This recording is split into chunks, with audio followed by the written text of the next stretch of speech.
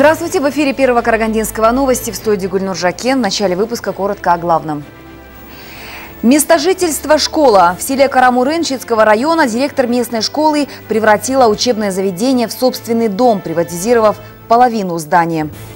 750 выпускников Караганды получили двойки и не прошли пороговый уровень на едином национальном тестировании. В Караганде прошла спартакиада среди врачей.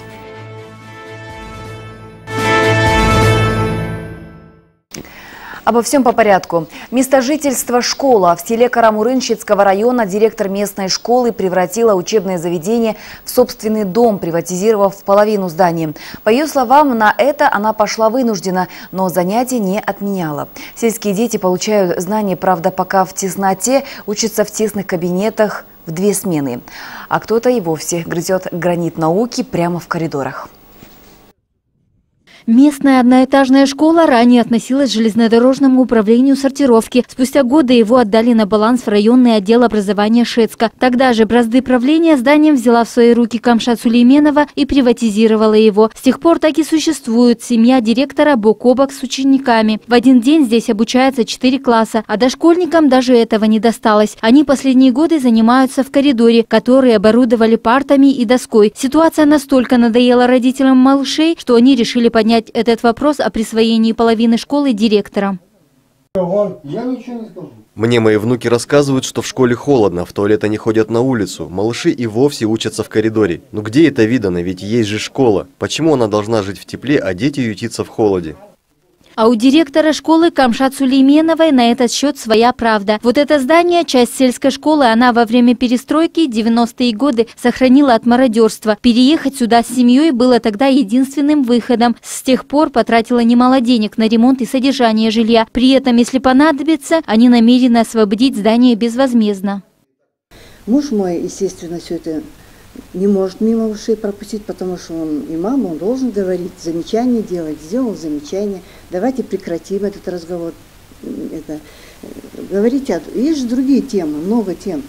Вот, и вот он начал скандалить, ты почему в политику лезешь, я тебя выгоню с этой школы, построю здесь девятилетку под а Аким Краснополянского сельского округа Нурсултан Токушев на своем рабочем месте не оказался. Данную ситуацию прокомментировал по телефону. По его словам, никакой проблемы в том, что дети учатся в коридоре, нет. И вообще, там скоро начнется ремонт. Мы в этом году вот выделили 2 миллиона 340 тысяч тенге, согласно смете. Угу. Мы хотели, строим котель, модульную котельную, ставим котлы длительного горения. И вот говорили, там письме было указано, что дети занимаются в коридоре. Вот там сделаем пластиковую перегородку, ну, будет э, нормальная класс-комната будет. Таким образом, по словам Акима, школьники будут обеспечены знаниями и нормальными условиями уже к 1 сентябрю этого года. А имам Рина Жасулам Макулбеков, Арман Нартаев, Первый Карагандинский. 750 выпускников Караганды получили двойки и не прошли пороговый уровень на едином национальном тестировании. Сегодня в областном управлении образования региона озвучили итоги главного экзамена уходящего года. Продолжит Николай Гравец. Буквально вчера завершилась ЕНТ по всем школам города. Его сдавали почти 5 тысяч выпускников. Главный экзамен, по словам начальника управления образования Карагандинской области, прошел на достойном уровне. Средний балл по итогам тестирования составил почти 80%. 108 выпускников станут обладателями медали Алтен Белге. Двоечников по сравнению с прошлым годом гораздо меньше. По двойкам самый низкий результат по области есть, э, значит, набрал 27 баллов выпускник пятой школы города Караганды. Э, по самому высокому баллу тоже результаты имеются. 123 балла э, набрали три выпускника нашей школ наших, э, нашей области. Это один выпускник лицея номер два города Караганды и два выпускника из города Жесказгана. Самые высокие баллы на едином тестировании набрали учащиеся школы номер 93 по 103 балла, школа Дарын по 114. Самые слабые учебные заведения в области работают в Каражале. Здесь ученики, к сожалению, мало себя проявили. Впрочем, не все так печально. Те, кто получил двойки, еще могут поступить в вузы. Для этого отстающим нужно сдать хорошо творческие экзамены по таким специальностям, как физическая культура, дизайн и журналистика. В этом году отделом образования области были увеличены гранты технического и профессионального профессионального образования. Николай Кровец, Исламбек Аспанов, Арман Нартаев, Первый Карагандинский. Полицейские из Карагандинской области разыскивают педофила, который изнасиловал десятилетнюю девочку. Ученица пятого класса возвращалась домой и попалась в руки маньяка. В городе Шахтинск неизвестный мужчина надругался над школьницей. Пострадавшая девочка была в гостях у тети, когда ей позвонила мать и попросила принести ключи от квартиры. По дороге около пустыря ее встретил неизвестный мужчина. Буквально среди бела дня увел испуганного ребенка в укромное место и надругался над ним. О случившемся случившемся школьница рассказала своей родственнице, которая сразу обратилась в полицию. По факту изнасилования несовершеннолетнего в городе Шахтинск Карганинской области проводится досудебное расследование. В розыске преступника задействован весь личный состав Шахтинского РОВД, а также лучшие сотрудники Управления криминальной полиции ДВД Карганинской области. Напомним, что подобные случаи в области не первый. В апреле в Караганде был задержан 32-летний мужчина, который нападал на школьниц в разных районах города. Он следил за девочками и представлялся врачом. Полицейские Караганды призывают взрослых не отпускать на далекие расстояния своих детей. Прервемся на короткую рекламу, а после продолжим выпуск. Оставайтесь с нами.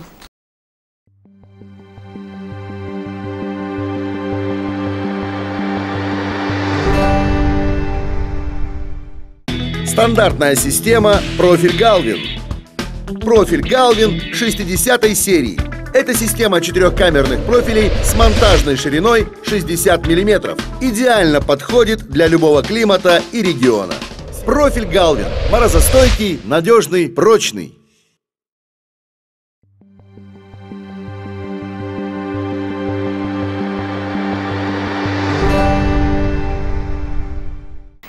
А в Караганде пьяный водитель мопеда врезался в столб. К счастью, отделался лишь открытым переломом ноги. Наезд на бетонное сооружение горе-мотоциклист-водитель совершил прямо напротив Департамента внутренних дел. Это картина мопеда, на котором было совершено дорожно-транспортное происшествие. 44-летний водитель Руслан Пири не справился с управлением. Пострадавший ехал на небольшой скорости и совершил наезд на столб. Это случилось на дороге напротив ДВД. Сам водитель Водитель, будучи в нетрезвом состоянии, от наших камер скрылся в машине кареты скорой помощи. Его отвезли в клинику имени профессора Макажанова. Ну, состояние удовлетворительное. Поступил он с травмой, э, дорожно-транспортное происшествие.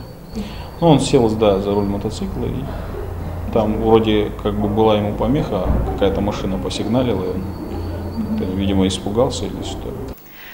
Классика – вещь упрямая и трудная для постановки. В Карагандинском государственном драматическом театре имени Станиславского премьера. Для сценического исследования была взята комедия Шекспира «Двенадцатая ночь». Наш корреспондент Сергей Высокосов оценил усилия труппы поведать о не меняющихся, на первый взгляд, человеческих отношениях.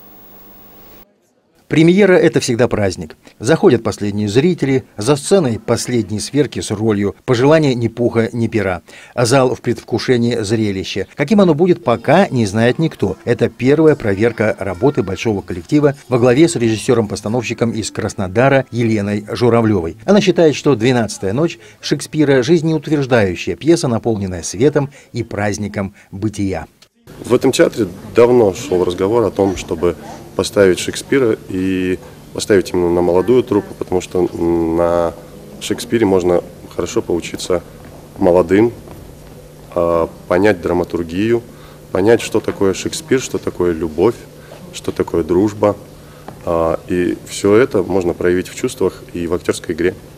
На сцене персонажи, которые были придуманы гением драматургии Уильямом Шекспиром в 1601 году. И до сих пор пьеса «Двенадцатая ночь» вызывает восхищение и смех публики. Сложность этой работы в том, что есть множество прочтений этой пьесы мастерами мирового класса. До сих пор в памяти экранизации «Двенадцатой ночи» с такими актерами, как Клара Лучко, Василий Меркурьев, Михаил Яншин, Георгий Вицин, Бруно Фрейндлих. В спектакле нашего театра ставка на молодых актеров. Условность сценического решения позволяет вовлечь зрителя в атмосферу творческой игры. Мизансцены выдвигаются прямо в зрительный зал, как бы говоря, вы такие же актеры, как и мы, играйте с нами. Есть такое понятие в актерской среде, это роль на сопротивление. А, это когда человеку не свойственен характер, не свойственны повадки, не свойственны какие-то манеры, и тебе приходится играть такого человека, в смысле а, антипода себя. Есть борьба внутренняя между собой и своим персонажем, но если ты находишь какой-то компромисс и у тебя получается что-то, то я думаю, что это дорогого стоит. Шекспир – неутомимый выдумщик. Он не боится откровенного шутовства и фарса, которые соседствуют с глубокими чувствами. Так что зрителю есть когда и посмеяться над героями, и призадуматься над их душевными коллизиями. Истинный театрал найдет в спектакле отклик в своей душе. Сергей Высокосов, Арман Нартаев, Первый Карагандинский. В Караганде прошла спартакиада среди врачей. Медики со всех районов доказали, что они могут не только лечить, но и сами находятся в отличной физической форме. Все подробности в следующем сюжете. Традиционная спартакиада среди врачей собрала около трех тысяч специалистов из разных городов и районов области. Каждый год спартакиаду проводят в преддверии профессионального праздника – День медика. Потому каждый старается не подвести команду и не ударить в грязь лицом. И в такой неформальной обстановке проводится, э, проходит общение, обмен мнением не только по профессиональной своей, по своему профессиональному направлению, но и по обыденным житейским вопросам простым. И мои коллеги непосредственно на своем примере показывают, что такое здоровый образ жизни. Этой спартакиаде уже 13 лет, и с каждым годом количество ее участников увеличивается. Есть здесь и старожилы, которые соревнуются с 2002 года. Да, да, да, вот сколько, сколько лет проходит, столько лет мы участвуем в этой спартакиаде областной. Ну вот каково это, столько лет участвовать? Ну, это, знаете, очень приятно, потому что мы занимаем призовые места, Бухаржавский район. Врачи играли в футбол, волейбол, демонстрировали свою силу в легкоатлетическом беге, настольном теннисе. Вышли три победителя. Первое место заняла областная сборная врачей СРРК, второе – сборная Стимиртау, последнее, третье, но тоже почетное, взяла команда Караганды «Орлан». Победители получили спортивные кубки, награждены грамотами и призами. Амина Смакова, Арман Нартаев, Первый Карагандинский. В завершении выпуска еще об одном. В Караганде прошли автогонки. Первый этап Кубка «Мальтийский крест». Изнуряющая жара не помешала любителям экстремальной езды помериться силами своих железных коней. Победителю достался главный приз от спонсора «Антифриз». Николай Кровец расскажет подробно.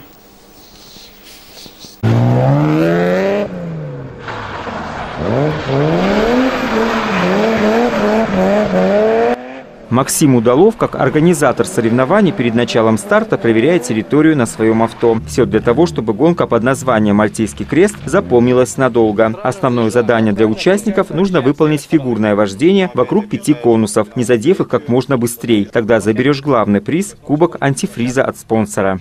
То есть раньше в СССР, то есть при там, сдаче каких-то нормативов по времени, можно было получить ну, мастера спорта при выполнении данной фигуры.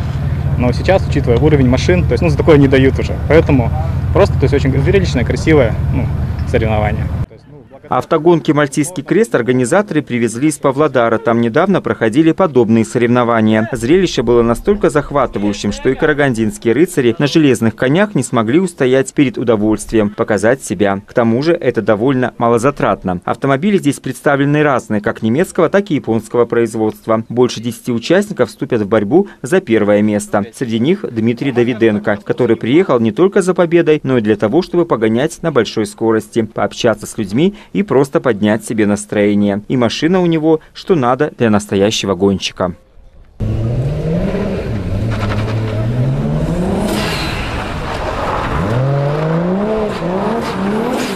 Владею я этим автомобилем э, уже 10 лет, с 2005 года.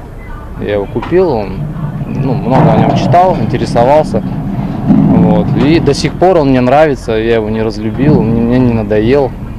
Наоборот, я каждый раз сажусь как в новую машину. Участники, занявшие призовые места, получили кубки и дипломы. Ну а самое главное, что останется в памяти у гонщиков, это воспоминания о сегодняшнем дне. Следующие автогонки в Караганде пройдут лишь только в сентябре. Николай Кровец, Исламбек Аспанов, Арман Артаев, Первый Карагандинский. Это все, о чем мы успели вам рассказать. Благодарю за внимание. Всего доброго.